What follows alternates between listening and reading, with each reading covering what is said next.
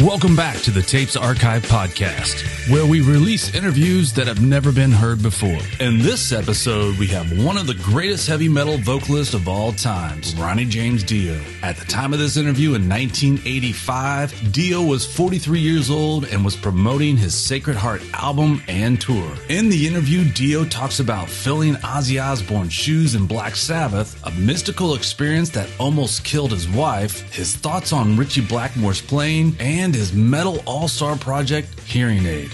The interview is conducted by a new tape archive contributor, Canadian music journalist and author Steve Newton. During his four decades as a freelance music writer, he has interviewed everyone from AC/DC to ZZ Top. We highly recommend that you head over to his Patreon page, link in the description, and check out over 340 of his exclusive interviews. For only five bucks, you get full access. We are not paid for this endorsement, we just truly feel it's money well spent. For zero money, you can head over to Newton's website, earofnewt.com, where he has posted more than 3,000 of his interviews, album reviews, concert reviews, and horror movie reviews. A big thanks to Steve Newton for allowing us to share this very rare interview with you. Thanks for tuning in, and now it's time to open the vault. Hello? Hello, uh, speak to Steve. This is Steve. Steve, this is Ronnie Dio. How are you, Ron? How are you doing? Pretty good. Uh, we all set to do this one? Yeah, yeah. Great. How's the tour going? Uh, we've got a little bit of break now, which is the nicest part of it, I think. Mhm. We've been on the road since August the 10th, and we have only been off for about a week now. And we just have this brief little uh, Christmas encounter, and then we're going to come to you straight away on the 28th. Does the tour end on the 31st? No, the tour doesn't end until probably uh, August again. Uh, we still have the dates in Canada to do, some more in, in the States, followed by uh, British tour, European tour, and then back for about three more months in the States. Oh, pretty heavy tour there. Yeah, it's a long one. Is it the longest one you've ever taken? I think it is the longest one we've done. I think the next longest one was in Sabbath. We were out for about nine months. But this one, with the, especially with the stage set that we've got, it seems kind of a shame to only use it for three months out of uh, out of a year. We may as well get all the mileage we can out of it because it's such a great show. We want to you know take it as many places as possible. Yeah, from what I've been hearing about it, it's quite a mind blower there. I'm Oh, looking yeah, it's a forward real to monster. First off, I wa- wanted to ask you, uh, what's happening with Hear 'n Aid? Uh, Hear 'n Aid should be released, uh, if not uh, in January, then the very beginning of February. We wanted to make it kind of after the fact, after a lot of the Live Aid and um, We Are the World, and et cetera, et cetera. We wanted to have it not so much more special, but just to remove it a little bit. Uh, the kind of music that we play and the people who are involved in it are always accused of being something other than what they are anyway, something awful. So we thought we may as well take it all away and we'll just separate ourselves from everybody. Like, I guess that's what they'll do to us anyway. Really, the problem was in logistics. We have an album that will be released from this project as well, and the problem with time in that is that everybody's always working. Everybody who plays this kind of music is usually out on the road. So getting them all together and getting all the bits and pieces together for a, a one-time proper release has been a bit difficult. It'll be January for the single, which is called Stars, and a video as well that has, was done for stars and with stars. That'll be released as well. And then probably about a month after that should be uh, the album. Oh, what, songs are on the album? Uh, who, who plays them? Well, they'll all be, uh, as of yet, we haven't got them all together. There'll be, uh, as yet, unreleased tracks by uh, a lot of good people. Uh, Judas Priest uh, are going to give one. Maiden are going to do one. We're going to do one. I think Dawkins is going to do one. I think uh, Quiet Riot are going to do one. There's quite a few people, and there are a lot of others who, who we haven't uh, got the planning for yet. But Mhm. uh, those are some of the people involved. Looking forward to that one. Yeah, it'll be great. Do you still write songs about watching sports on TV? I do, yeah, I do. I did all the albums that I've done. I think I've been watching some kind of sporting event, uh, and only because it really relaxes me. It, there's no music in the background, and I, I, I love athletics anyway. And it's kind of my fantasy. I always wanted to be a great sports star, so I'm writing about fantasy things while I'm watching my fantasy. So it all works for me. What's your favorite sport to watch? Well, my favorite sport to write by is uh, basketball. Well, I would say my favorite sport is uh, football. You started out as a trumpet player. Yeah. When you were five. That's right. How did you like that? I didn't care for it very much, to tell you the truth. Uh, I was one of those kids who uh, had to be forced to practice, and all I wanted to do was play baseball, or play football, or ride my bike, whatever it was. You know, when you're five years old, you want Yeah, right. five-year-old things. I, I think it made me grow up a lot faster, maybe a little bit harder, because I had to do something that I really didn't want to do. Did pursue it, did go after it. Uh, my folks thought it was important, and after all, they were bigger than me, and so I had to do what they said.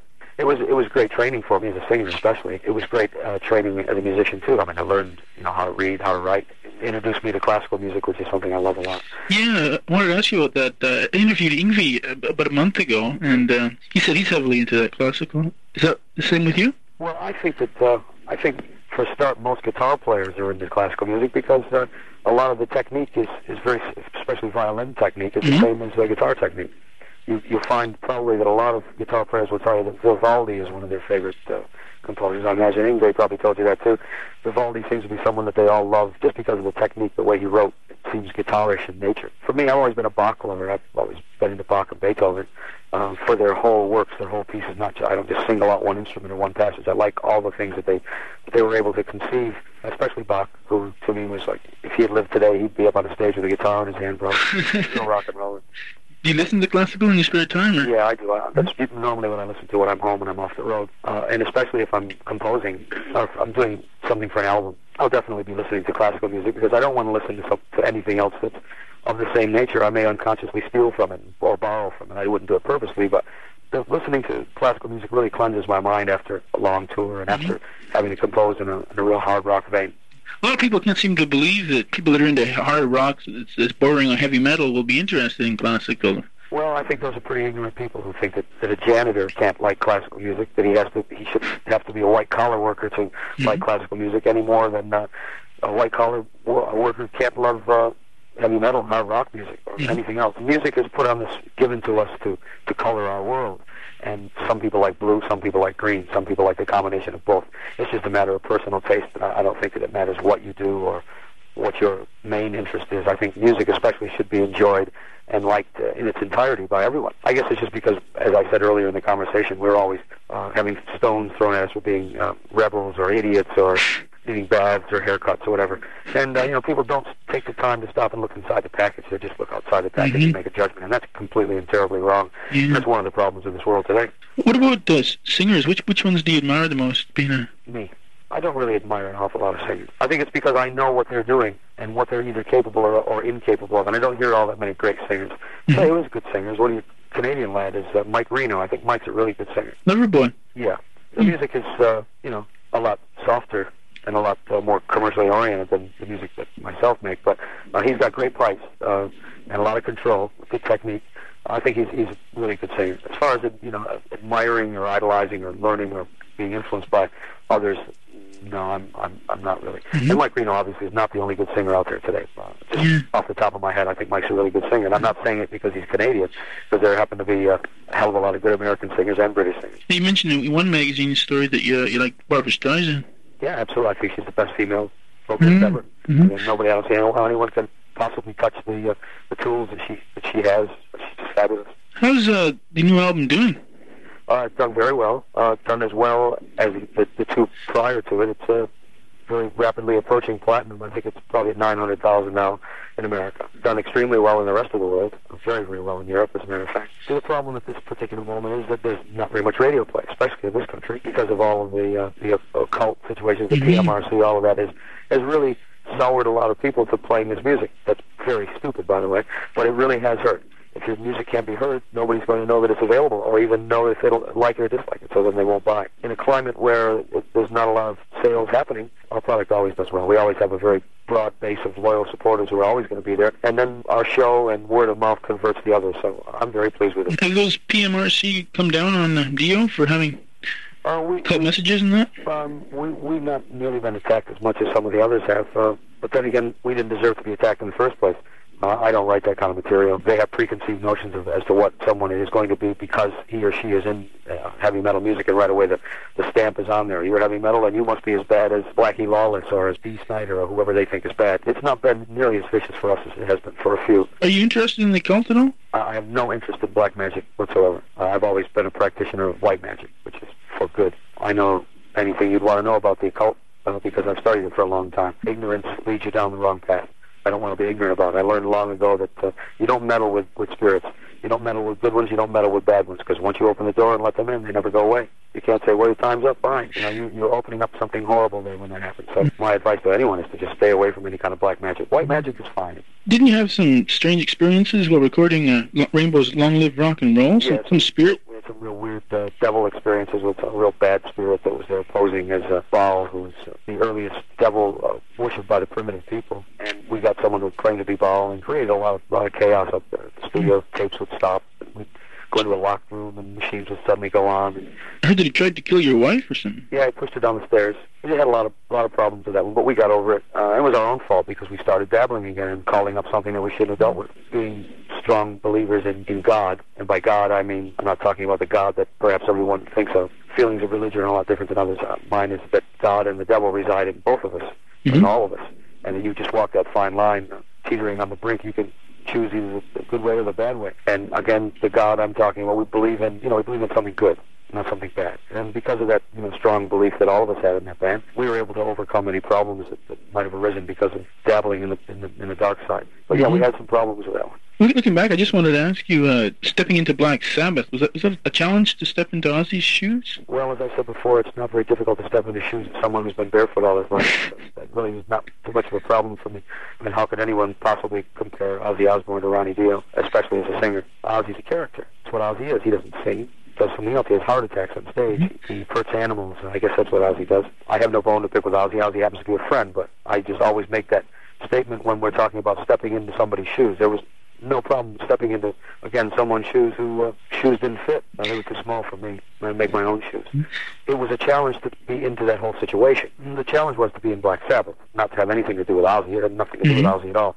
That band was a collection of Tony, Geezer, Bill, and Ozzy. It wasn't Ozzy that made it go, as proof of the fact that when Ozzy was no longer in the band, we survived better than we did when Ozzy was in the band, especially within the last three albums that that Ozzy was, did with the band, and the, and the three albums that I did with the band. The uh, the comparison is uh, is pretty staggering, really. It's not a problem for me at all to be inside that band. It was a great challenge. I enjoyed it very much.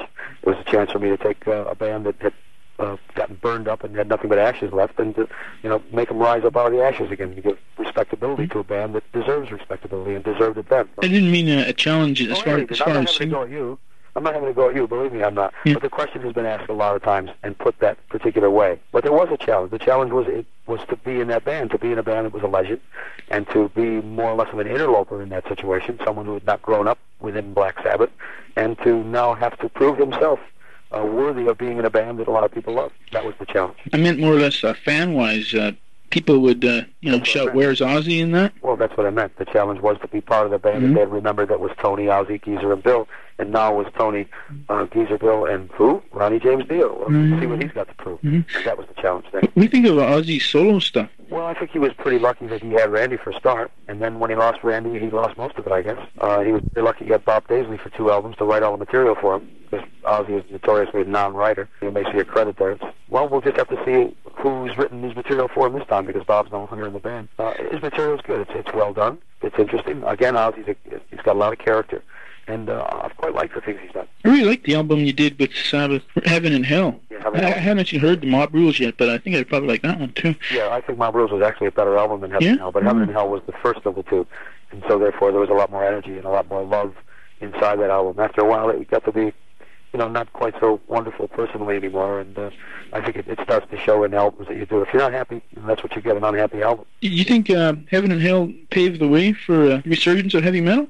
Absolutely one of the, the pillars of of, uh, of the resurgence in that kind of music. Yes, absolutely. What are your favorite tunes that you did with Sabbath? Uh, Heaven and Hell is my favorite song. Die Young is another song I like very much from the LP. I like Neon Nights. Yeah, Night's another of my favorites. Mob Rule is another one of my favorites. Mhm. Uh, there are a lot of songs on, on those LPs I like. Some I didn't. There was a song called Country Girl that I did like very much. Some I didn't care for. I'm never pleased with anything I do to, to any great degree. There are some that stand out in my mind. Heaven and Hell, of course, because it, it said something I wanted to say. I thought it was played very, very well, and it was uh, it was a song, that no, uh, the kind of song that nobody else had ever done before. That is my favorite. I think. I think of all the things I've done. I think that's my favorite song. Have you ever thought of trying to produce other rock acts? Like what happened uh, with Roger Glover, what he did for Elf? Well, I, I've I've dabbled in a lot of production. Of course, I produce my own material. I did most of the production in Rainbow, most of the production in Sabbath, even though we weren't able to take the credit for it because of contractual obligations. I've always been involved in everything I've done. I always produced myself as a singer. I've had a mm-hmm. lot of requests to do a lot of bands. I just haven't had the time. It's not fair for me to take that time away from this band. It's not fair for me to take to give only a bit of myself to someone I'm going to produce. If you're going to be a producer, then go ahead and do it all the way. Don't uh, do it in bits and pieces. So when the time comes and there is more time, I definitely will do it. Yeah. Is it true that you have a degree in pharmacy? Mhm, That's right. You never actually used it for. Oh no, I've forgotten so much of it. Are you still friends with Blackmore? Uh, I haven't seen Ritchie in two or three years. I don't know if we're friends or not. I, I don't think so. How do you rate him as a guitarist? These days, average. In the early days, brilliant. But he's not done anything different. He still is the same as he always was. He hasn't. Uh, I mean, there, there are guitar players that I hear that are 15 years old that just blow him out the back door. The thing that Ritchie has is he has a lot. He's got great technique. He plays with a, a lot of emotional ability. But I just don't think that a guitar player who has the great tools that Ritchie has has, has, has done anything with it. Stuck in the same kind of music time after time after time. Every song begins with Ritchie, plays a solo in the middle, and ends with Ritchie. I'll always admire Ritchie for what he was. Mhm. When we're talking about in today's world, I just don't think that he's come up to the standards of the young kids who really care about their instrument. A lot of people are uh, depending on Yngwie Malmsteen to sort of take the torch That's a distinct possibility. It could happen. Ingve has to learn how to write first. That's his problem. He's a great guitar player, and he can play all the things that Ritchie could play, and he probably plays most of them a lot faster. Mhm. But Ritchie knows how to write. He knows how to get the best out of his instrument. Whereas Yngwie, at this particular point, is still he's still learning. He's still very young. He's learning his craft. He's got to learn. He's got a lot more years to go before he's going to be the one who uh, can take that torch from Ritchie. Well, uh, hope the tour goes well for you. Thank you, Steve. I hope you enjoy the show. Yeah, I will. Uh, come, aren't you? oh, yeah, of course. All right, Sure, great. sure. Yeah. You Um, love it. uh, I was wondering, uh, would it be possible at all to get a backstage pass? Sure, absolutely. Well, I'll have that for you. It'll be at the will call window. Tickets and passes. Wow. Okay? Thanks a lot, Ronnie. No problem, Steve. That's great. I want you to see the show because I know you'll like it. Okay. And we'll talk afterwards. Okay. Terrific. Thanks a lot, Ronnie. Okay, Steve. Thank you, my friend. See you. Bye. All right, bye-bye. Hey, thanks for listening to the Tapes Archive podcast. Please remember you can always find more information about the show and the individual episodes at our website, thetapesarchive.com. Until next time, the vault is closed.